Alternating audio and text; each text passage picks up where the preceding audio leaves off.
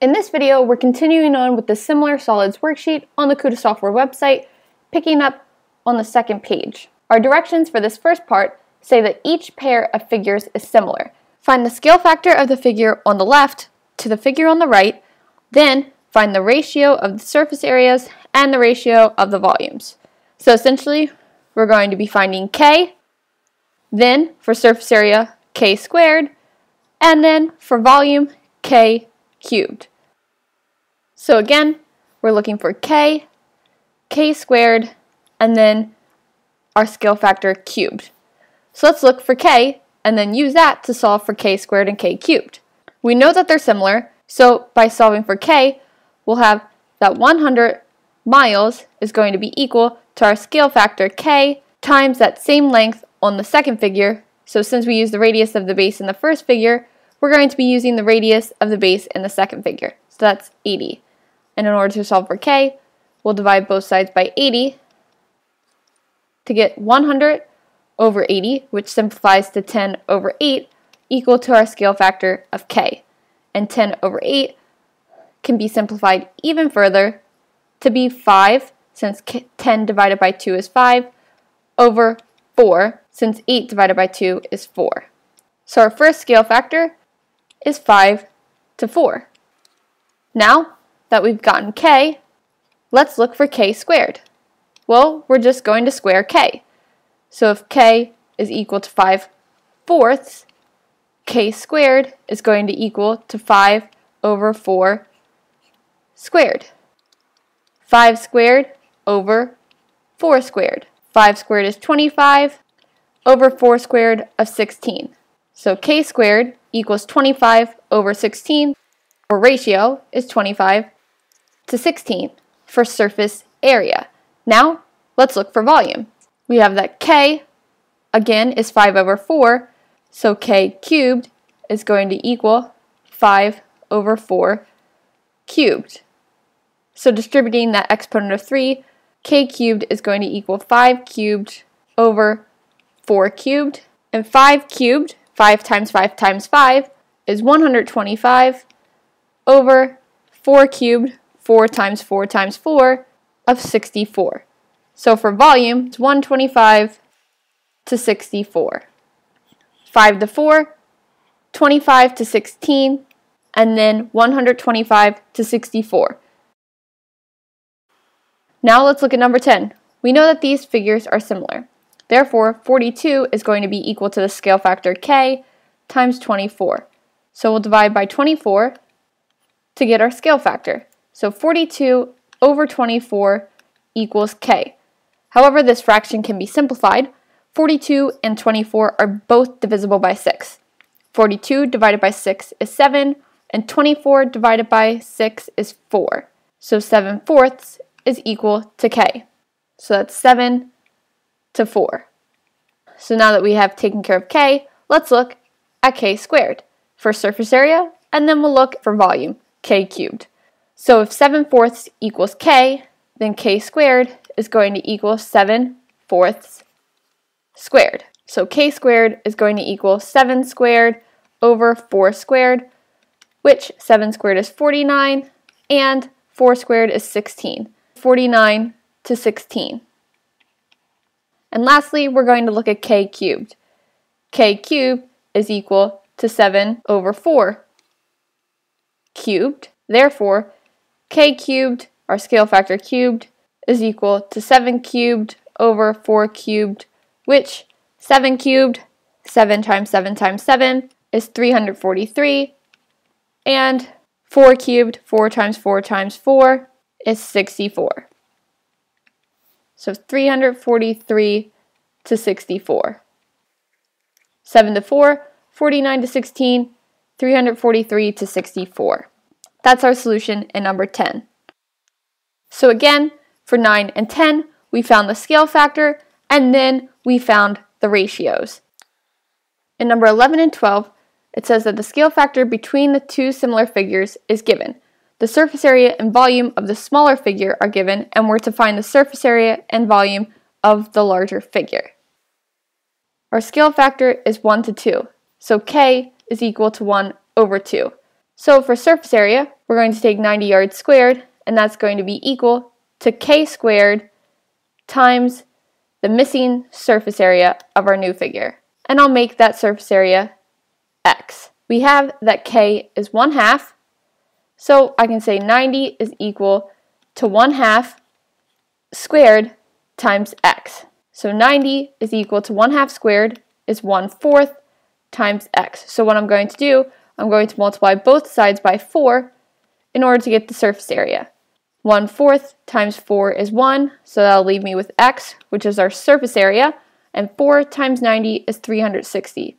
So our surface area for our second figure is 360 yards squared. Now let's look at volume. Volume is going to be 216 equal to the scale factor cubed times the volume that's missing. Let's make that volume y. So x is the new surface area and y will be the new volume. So that'll be 216 equal to 1 half cubed times y. 216 equals 1 half cubed, which 1 half cubed is essentially 1 eighth, and then that will be multiplied to the new volume.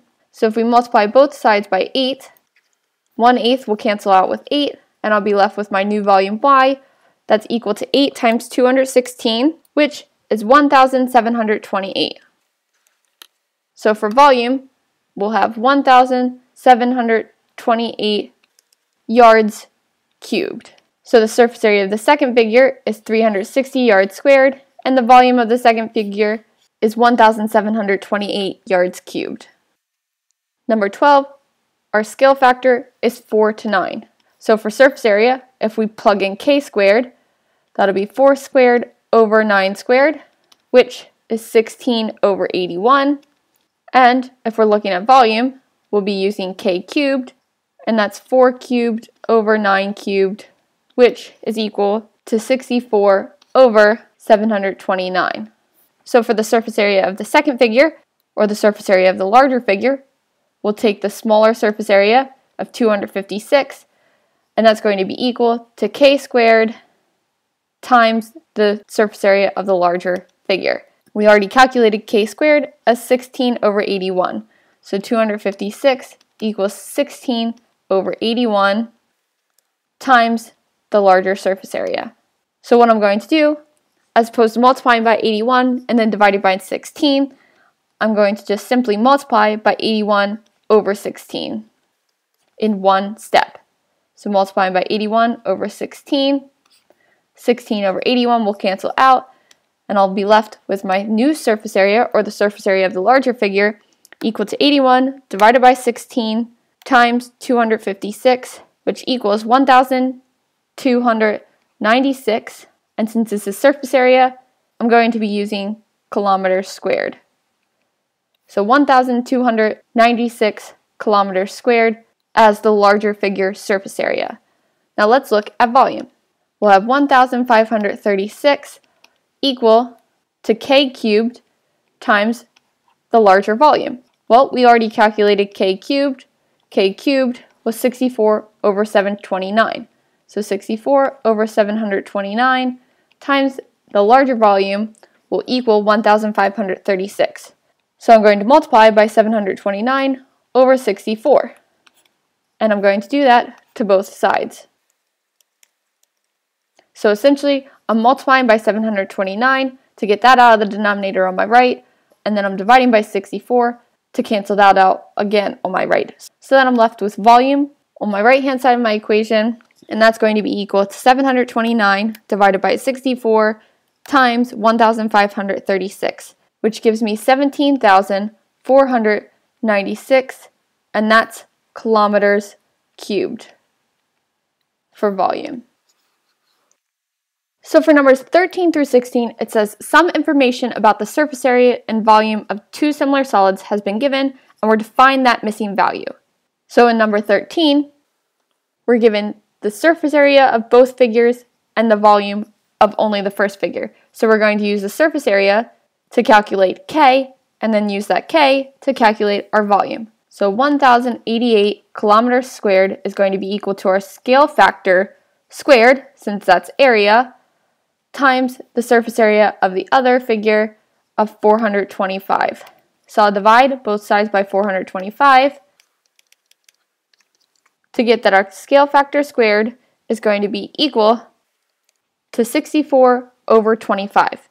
And that's because 17 goes into both 1088 and 425 evenly.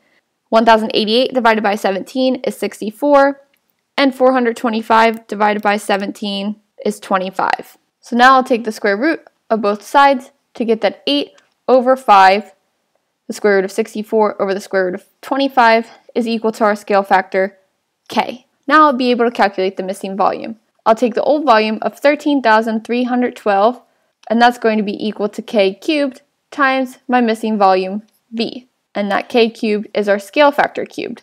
So we'll have 13,312 equal to 8 fifths cubed times v. 8 cubed, 512, over 5 cubed, 125, times v. So what I'm going to do is multiply both sides by 125 over 512. So 125 divided by 512 times 13,312 will give me my missing volume of 3,250, and that's going to be kilometers cubed. That is equal to our missing volume. And number 14, again, we're missing the volume. So we're going to use surface area to find the scale factor and then plug in that k in order to solve for v. So essentially, our volume of 19,000 will equal our scale factor cubed times the missing volume. So 1,100 equals k squared times 176. Divide both sides by 176 in order to isolate that k squared. So k squared is going to equal 25 over 4. And that's this fraction 1,100 over 176 simplified. So taking the square root of both sides, I'll get that our scale factor k is equal to 5 over 2. So now I'll plug in k into the equation we wrote at the start. So 19,000 equals k cubed, so that's 5 halves cubed times our volume. So 19,000 equals 5 cubed, which is 125, over 2 cubed, which is 8. And then we're multiplying that to v. So now I'll multiply by 8 over 125 to both sides. That'll leave me with our volume on the right hand side of my equation, and 8 times 19,000 divided by 125 equals 1,216, and that's going to be yards cubed for the volume in number 14. In number 15, as opposed to missing volume, we're missing surface area. So now we're going to be using volume to solve for k and then plugging k in for our surface area. So our volume of 1944 is equal to k cubed times the volume of our second figure, 9. Dividing both sides by 9, I'll isolate my k cubed, and I'll get that k cubed is equal to 1944 divided by 9, which is 216. So if I take the cube root of both sides, so essentially 216 to the 1 third, I'll get that 6 is equal to k. So 6 is our scale factor. Now for surface area, the surface area of the first figure, 468, will equal our scale factor squared times the surface area of our second figure, which is our unknown. So plugging 6 in for k, I'll get 468 equal to 6 squared times the unknown surface area. So 468 equals 6 squared, which is 36, times our unknown surface area, the surface area of our second solid. Dividing both sides by 36 will help me isolate that surface area. So the surface area that is unknown to us is 468 divided by 36, which is 13, and that's going to be 13 feet squared since we're dealing with area. And lastly in this video, I'll go over number 16. Before I go over the answer to this, if you have any questions, just put them in the comments below and I or one of your peers will get back to you as soon as we can. And like this video and subscribe to my channel. So now, in number 16, we're missing the surface area of the second solid. So the surface area of the first solid is going to be equal to our scale factor squared times the surface area of our second solid, which is our unknown. So let's solve for k using volume. The volume of our first solid, 648, is going to be equal to our scale factor cubed times the volume of our second solid, 8,232. And quickly I want to note that because I'm taking the first figure and multiplying the second figure by the scale factor, then I have to keep it the same order. The first figure is going to equal the second figure multiplied by that scale factor. So just make sure you're keeping your equations in the same order. So whether you multiply the scale factor to the first solid or the scale factor to the second solid, make sure that you're doing the same for both surface area and volume.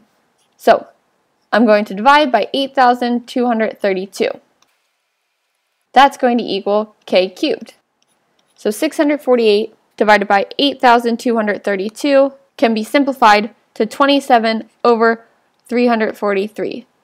So now I'm going to take the cube root of both sides in order to get my scale factor k all by itself. So my scale factor k equals the cube root of 27, which is 27 to the 1 third, which is 3, over the cube root of 343, which is 343 to the 1 third, which is 7. So my scale factor is 3 over 7. So I'll have 54 equal to k squared. That's 3 sevenths squared. And that's going to be multiplied to my unknown surface area. So 54 is equal to 3 squared over 7 squared, which is 9 over 49. And then we're multiplying that to the unknown surface area. Now I'll multiply both sides by 49 over 9. So essentially I'm multiplying by 49 and then dividing by 9.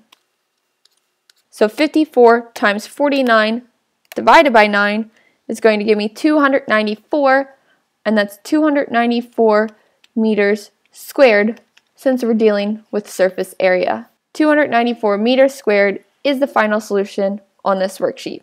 And if you haven't already, like this video and subscribe to my channel.